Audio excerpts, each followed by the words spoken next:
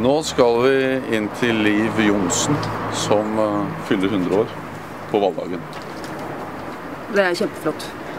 Skal ikke påstå at hun fyller 100 år fordi hun har stemt Arbeiderpartiet hele Nei, livet, nei. men det kan jo tenkes ha hjulpet. Ja, god dag, det er Jens Stoltenberg her. Takk.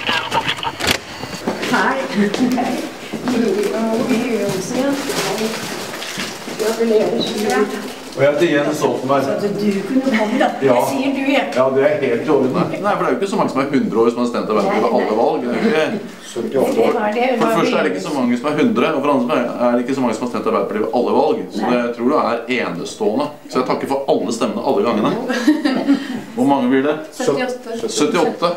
Og stem på 78 ganger. Det er veldig bra.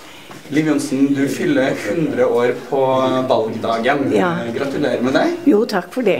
Du har eh, stemt Arbeiderpartiet i alle år du har kunnet det. Ja, det har ikke vært noe tvil om det. Jeg har stemt i år. Jeg har hatt det hjemme nå.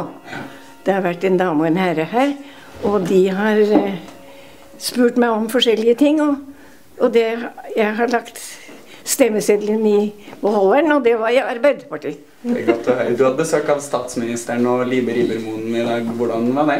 Det er hyggelig.